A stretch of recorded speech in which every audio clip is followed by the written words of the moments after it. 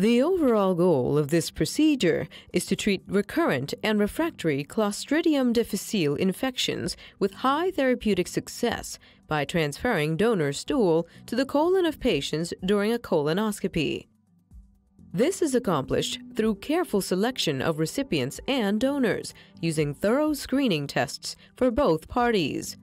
In preparation for the colonoscopy, the recipient must lavage their bowels and the donor's stool is blended with normal saline and strained to make a slurry.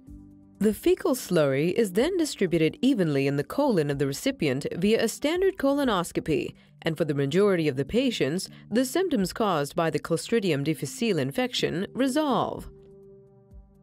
Visual demonstration of this method is essential to understanding the various steps of the procedure, as well as troubleshooting more difficult aspects of the procedure.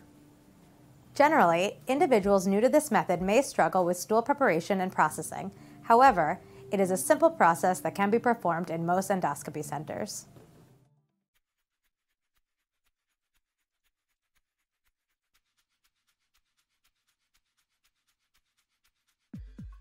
Before undertaking these procedures, it is important to consult the hospital's infection control department.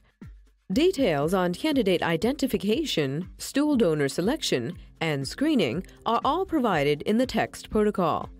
In the endoscopy room, prepare the sample wearing the appropriate protective garments. If a donor provides multiple stool samples, select the freshest sample. Liquid stool must be discarded. The workspace should have an 18-inch or larger splash zone. Clean the work area with a disinfectant and then cover it with a disposable